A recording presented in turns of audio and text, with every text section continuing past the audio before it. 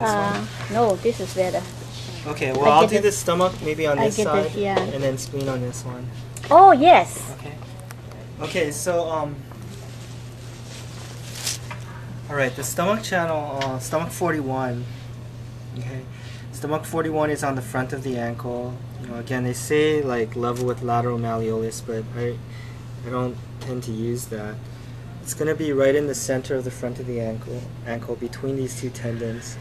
So, you know, I can definitely feel this these tendons here, but if you wanted to make it more visible, if you dorsiflex the foot, then this this is the extensor hallucis longus right here, and then this one is um, extensor digitorum longus. And I just try to find uh, depression right between those two tendons. and relax that, and so um, that would be where my uh, stomach. If I can get the point here, stomach 41 is right right in between, right here on the front of the. Crease. yeah, center of the front. So you can kind of see like, I mean, it is roughly level with the lateral malleolus, but I still wouldn't, you know, some some people are um, have very like their foot naturally goes down this way, and then that would kind of throw things off as far as using the lateral malleolus as a landmark. Okay. The next one is uh, stomach 42. That's basically on the high. I mean, you know, I usually try to get to the highest point on the dorsum of the foot, but um, there are different ways to find it. Uh, if you wanted to, you can try to feel for the second and third metatarsal bones. So metatarsal bones are inside of the foot here. You know, this is your second and third metatarsal, and then I just try to follow them up to their base where they join with the cuneiform bone. Okay, but you know it can be hard to um, feel for those landmarks. Another way is to go from stomach 41 and then measure about um, a cun and a half. Okay, on this line joining stomach 41 and the web margin here.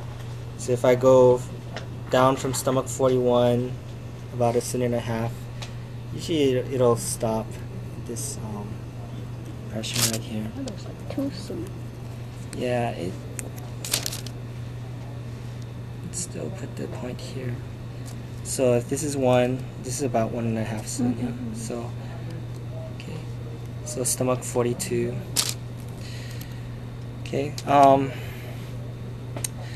So stomach forty-three. You know the the point location description says it's about um, one cun proximal to um, stomach forty-four. Okay. Um, you could either start from high up and go towards the web margin and you know stop, or you can start from the web margin and work your way back. Um, for now, I'm just going to start from the web margin and work my way um, proximally. So um, from the web margin, if I go this way, I'm going to be crossing over this, um, you know, the knuckles, the hills of the knuckles here and then immediately beyond that I'll feel myself sink into this depression here um, that's that's pretty much where um, stomach our stomach 43 is going to be located right here yeah again keep it between the um, second and third metatarsal bone okay. And okay stomach 44 Neiting is you know your location says 0.5 cun from the margin of the web yeah? But I usually just start from the margin of the web and work my way back and it's a very small distance until I stop against the um, uh, you know the distal side of these knuckles here. So I just go from here right about here okay? Right in this point here and then our last point on the stomach channel is the stomach 45.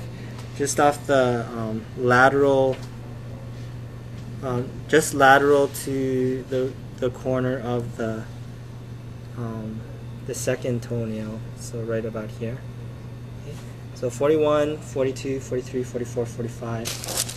And then if we go to the spleen channel, The blue color?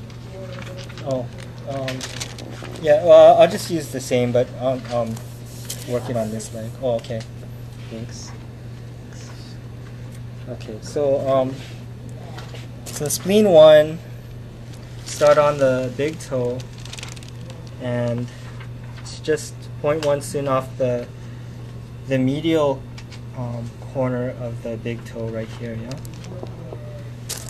And then for spleen two and three, you know, I, again, I just like to think about the border between the red and white skin. So this is the pale skin of the sole of the foot. This is the dark skin of the dorsum, and you just stay on this border right here. So if I if I'm feeling the medial side of her big toe, I just slide up or proximally until I run up against the um, first um, metatarsal phalangeal joint right here. This is where um, you know sometimes people have bunions, right? Um, but you just slide up until you run run up against uh, the distal edge of that, and this will be spleen two. Okay, there really isn't that much um, uh, flesh there, so uh, you know sometimes. I mean, you can't really needle perpendicularly at this point, um, or you're gonna just be going into the bone. So usually when we needle this, it's like a transverse or flat insertion. Okay. Um, spleen three is, you know, following the same line, but just proximal to um, this first metatarsal phalangeal joint. So from spleen two, I just continue along this line. and I cross over, and then I find this depression just on the other side of the first metatarsal phalangeal joint, and this is spleen three right here. This is a really sensitive point on most people, but um, um, it is it's an important point to tonify the spleen. Yeah. So spleen one, two, three. Yeah. Okay. So that's that's all the points that we did today.